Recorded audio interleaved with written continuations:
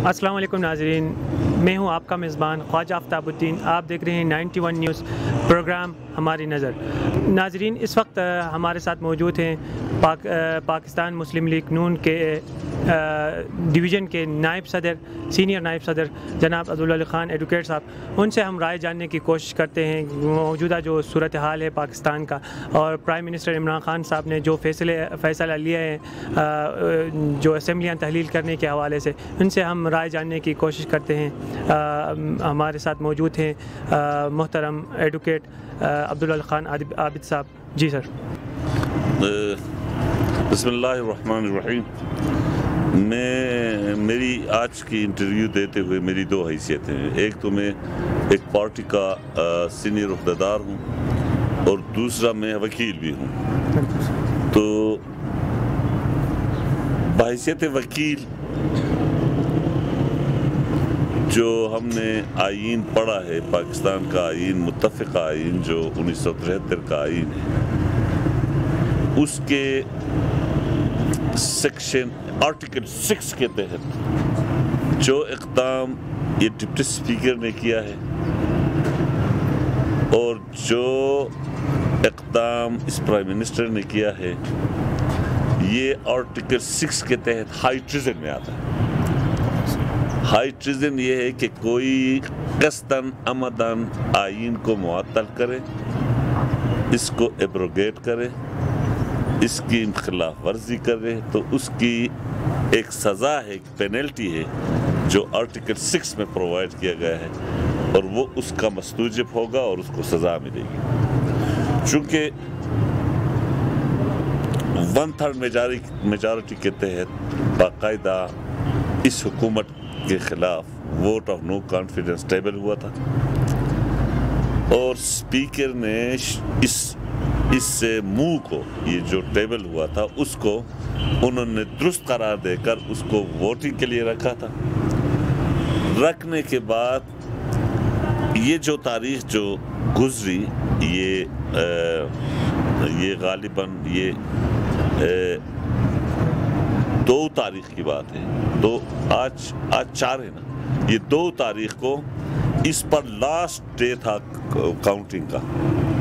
तो इसमें एक एक जो आर्टिकल फोर आर्टिकल फोर के तहत जो फवाद हुसैन चौधरी ने जो एक क्वेश्चन आवर जो उन्होंने की, वो इसके साथ रेलिवेंट ही नहीं था। तो उसको बुनियाद बनाकर जब एक आइनी आइनी फ़र्ज़ को निभाने में नाकाम रहा आइन के एक आर्टिकल को कसदन व आमदन उसको एब्रोगेट किया गया, उसकी तनसीख की गई, उसको मुअत्तल किया गया तो बायसत कानून का तालब इलम मैं किसी यानी बायस हुए बगैर मैं ये आपको ये बता दूँ कि ये बाकायदा हाई ट्रिजन में आता है और उनके ख़िलाफ़ ये ये बाकायदा प्रोसिक्यूट होंगे। इनके ख़िलाफ़ बाकायदा इनको इनको कोर्ट ऑफ़ उसमें कटहरे में लाना होगा और उनको ये तो इसलिए तो मज़ाक नहीं है पाकिस्तान का एक मुतफ़ आइन है जिसके तहत ये मुल्क चलता है। इसके बाद इसके नतीजे में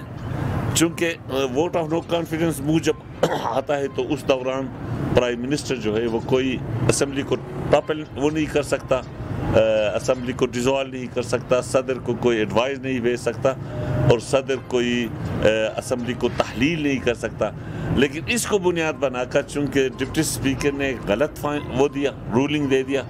रूलिंग देकर उन्होंने इस मुँह को जब उन्होंने वो किया रिजेक्ट किया उसको बहाना बनाकर प्राइम मिनिस्टर ने एक और आईनी वो की आइन की खिलाफ वर्जी की। उन्होंने प्रेसिडेंट को एडवाइस भेजा। ये सब किया, बिल्कुल प्लान प्लांटेड था सारे।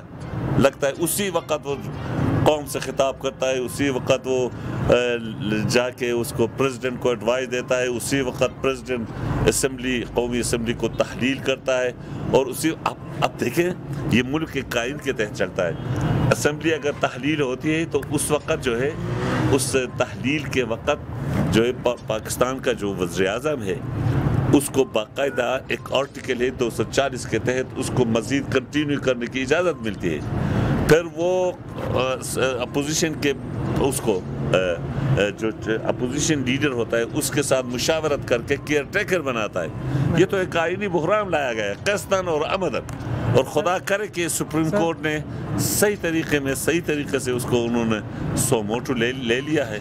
और मुझे यकीन है कि सुप्रीम कोर्ट इसमें एक बेहतर फैसला देगा। सर, अभी जो डिप्टी स्पीकर साहब ने जो फैसले किए हैं, जो फैसला उन्होंने किया है, इसके अगेंस्ट ये जो पाकिस्तान पीपल्स पार्टी के जो चेयरमैन हैं बिलावल भुट्टो साहब, वो उन्होंने उसको सुप्रीम कोर्ट में चैलेंज किया। या क्या ये जो स्पीकर के फैसले के अगेंस्ट आप सुप्रीम कोर्ट में जा सकते हैं आप एक कानूनदान होते हुए इस हवाले से क्या कह सकते हैं? ये देखिए सुप्रीम कोर्ट ने असखुद लिया है, नोटिस असखुद लिया है सोमोटो लिया है। सोमोटू नोटिस लिया है सोमोटू नोटिस के बाद इनको फरीक बनाया गया है। पीपल्स वाले वालों ने भी फरीक बनने की दरख्वास्त दी है। मुस्लिम लीग वालों ने भी दी है। पाकिस्तान बार कौंसल ने दी है। सबसे अहम बात यह है। सुप्रीम कोर्ट बार एसोसिएशन के प्रेसिडेंट ने दिए है। हसन बून ने दी है। ये सारे फरीक बनेंगे और ये कॉन्स्टिट्यूशनल ये कॉन्स्टिट्यूशन के खिलाफ वो है ना वायलेशन है। वायलेशन ये प्रोसीजर की वायलेशन नहीं है, ये आर्टिकल की वायलेशन है। एक आइन को मअतल किया गया है। आइन को बाकायदा आइन को एब्रोगेट किया गया है। आइन को बाकायदा आइन की आइन को एक मज़ाक बनाया गया है। सर इसकी बाकायदा सुप्रीम कोर्ट खाम उसके पास जुरिस्डिक्शन हासिल है कि वो उसको करे। सर ये जो ये पीडीएम जो है अपोजिशन ये भी चार चाहती थी कि हुकूमत ख़त्म हो। अभी जो खान साहब ने ख़ुद हुकूमत ख़त्म की तो अभी तो उनके री इलेक्शन उन्होंने कराने, उन्होंने जो है री इलेक्शन की बात की है। ये तो पीडीएम के फेवर में एक तरह का, क्योंकि उन्होंने डेढ़ साल पहले अपने टीन्योर पूरा होने से पहले हुकूमत ख़त्म की। नहीं, यहाँ यहाँ पीडीएम के इलेक्शन कराने या न कराने वाली बात नहीं है। अगर पीडीएम वाले पीपल्स वाले या मुस्लिम लीग नून वाले एस इट इज़ ये उनका मुतालबा था। बेशक आप दुरुस्त फरमा रहे ये पीडीएम का मुतालबा था कि फ्रेश मैंडेट दिया जाए इलेक्शन रिक हो चुके हैं। 2018 अठारह के इलेक्शन जो हैं ये बाकायदा इसमें रिगिंग हुई है। ये बाकायदा इस इलेक्शन के खिलाफ रोज़ अवल से मौलाना फजलरहमान इसके ख़िलाफ़ आए थे। आप दुरुस्त फरमा रहे हैं कि इनका मुतालबा था। जब मुतालबा पूरा हुआ तो ये सुप्रीम कोर्ट क्यों जा रहे हैं? आपका कहना ये है। मेरे प्यारे इस इसका मतलब ये है ना ये अगर पीटीएम वाले इसको अदालती जंग में तब्दील न करें। तो ये आइन के साथ जो खड़वाड़ हो चुका है ये अगर मौजूद रहा तो कल कल कोई और बंदा आकर इसी तरह इस आइन को छेड़ेगा। पीटीएम वाले बेशक आईनी जंग जीत जाएँ आइनी जंग जीतने के बाद बेशक इलेक्शन की तरफ़ जाएँ। हमें कोई इतराज नहीं है। लेकिन चूँकि एक आइन जो है आइन एक एक एक ऐसा दस्तूर है जिसकी बुनियाद पर ही मुल्क कायम है।